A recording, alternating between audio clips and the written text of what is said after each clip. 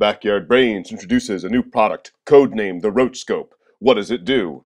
Have you ever found yourself looking at something cool underneath a microscope and you decide to take a quick picture with your cell phone to share with your colleagues? You find out it's so hard to hold your cell phone over the eyepiece, even though the optics in a phone are quite good and getting better every year.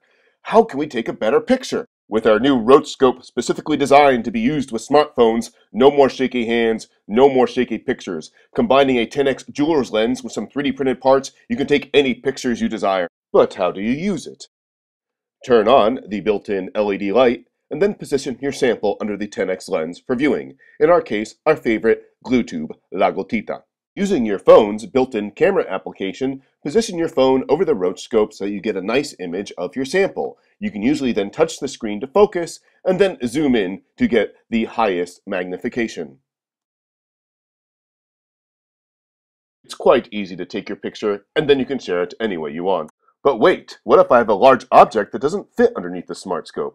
Have no fear, we've built an adjustable phone platform for an extra 1.75 inches of play, and now my lovely tomato can fit under the SmartScope and I can see how delicious it looks before I decide to eat it. A microscope with a phone. Imagine the possibilities. It's available now. Backyard Brains, neuroscience for everyone.